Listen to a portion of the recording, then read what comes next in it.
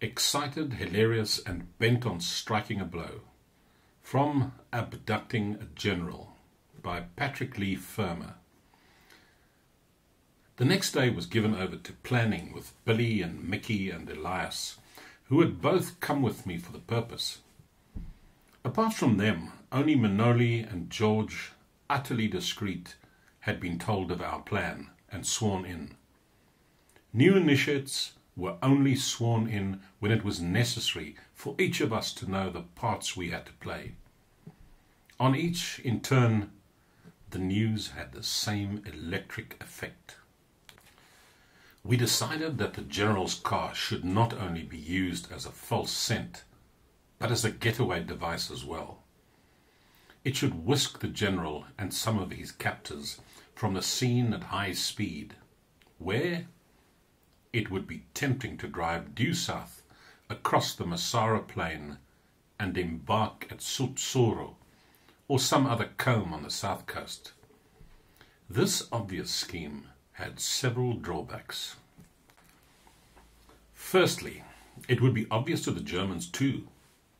They knew we used those waters, and the way back to the main party for our only driver, Billy, after planting the car far away, would be too long and dangerous.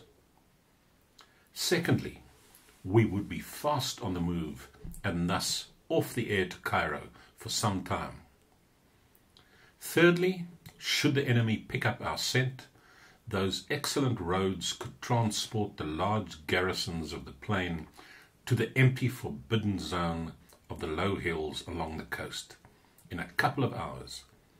If necessary, they could fill the region with all the Germans in the fortress of Crete. A cordon along the waterline and another inland could prevent any craft putting in, and by intercepting our runners, cut us off from our distant wireless links with Cairo. Finally, with our backs to the sea, in that region of sparse cover, they could run us to ground.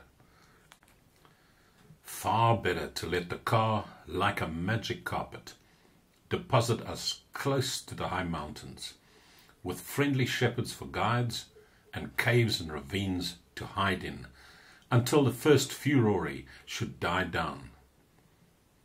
Runners could move fast and freely there. We could pick up our broken links with Cairo and, via the SOE, with the BBC, the RAF, and the Navy, and arrange an evacuation further west. Above all, even with a slow moving general on our hands, we could move more quickly than the enemy troops. We would find a mule for him and, if the country grew too steep, put together a rough and ready palanquin. And there was always pickaback. A glance at the map at once indicated the vast bulk of Mount Ida, sprawling across a quarter of the island and climbing to over 8,000 feet. A familiar refuge to most of us, but to the enemy, a daunting and perilous labyrinth haunted by guerrilla bands and outlaws. Not even a garrison of 50,000 men could completely cordon off that colossal massif. There would be gaps, a single road ran westward along the north coast to Retimo and Canea.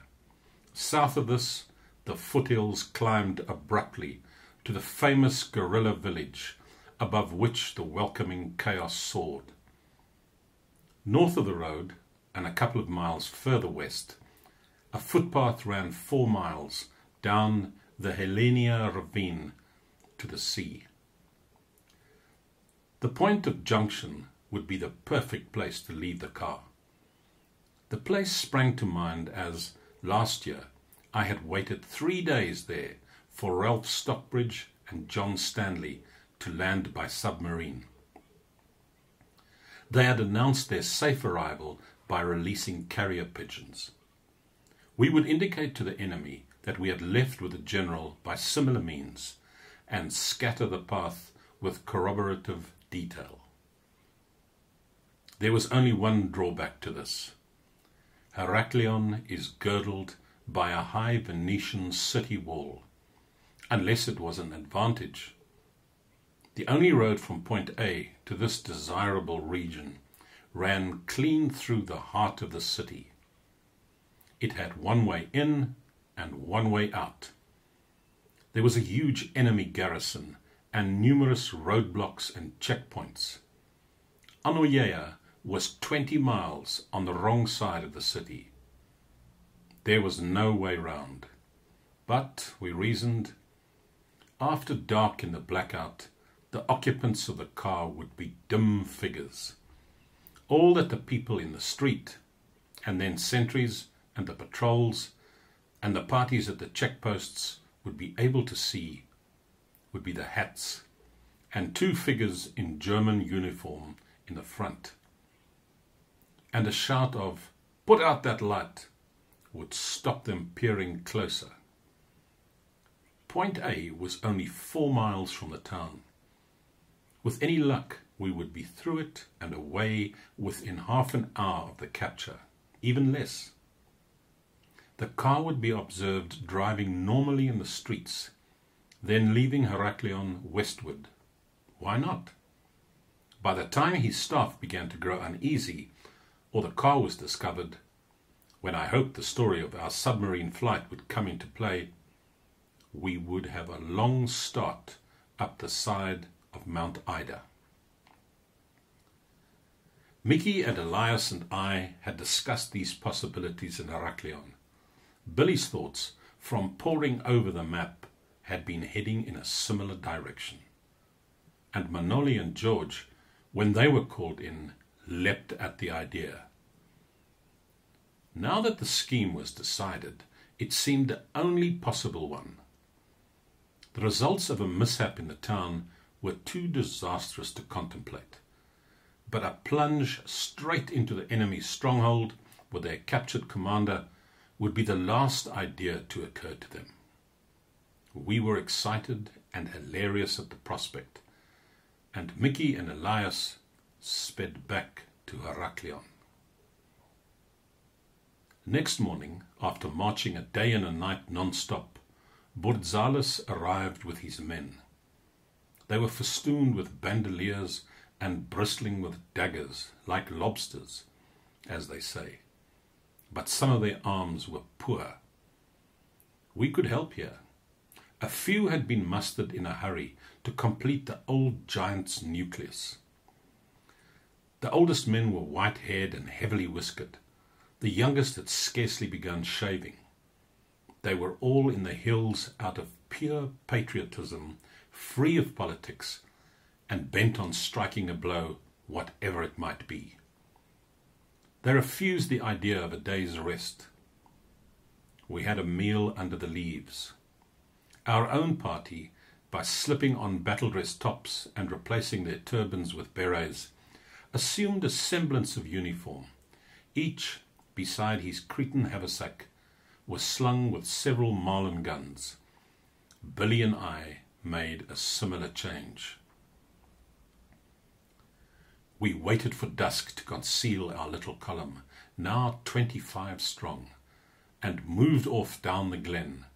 I wanted to get them all to Skalani in a single giant stride, but it was too far to cover those rocks in the pitch dark. One or two of the elder gorillas fell out, rather understandably. We just managed to reach Carasso when the sky was growing pale. We hid all day in the lofts and cellars of two friendly houses, and set off again, wind and raven fed at nightfall, striking due west over flatter and thus more dangerous country. We waded through streams noisy with frogs and passed through villages where the device of shouting in German again came to our help. Soon after midnight, the guerrillas, the Russians, and some of our party was safely hidden in a cave with a door containing an old wine press. A little further down the dried up riverbed, Billy, Manoli, George, and I were soon under Pavlo's roof, only five miles from Heraklion and less than a mile from Point A.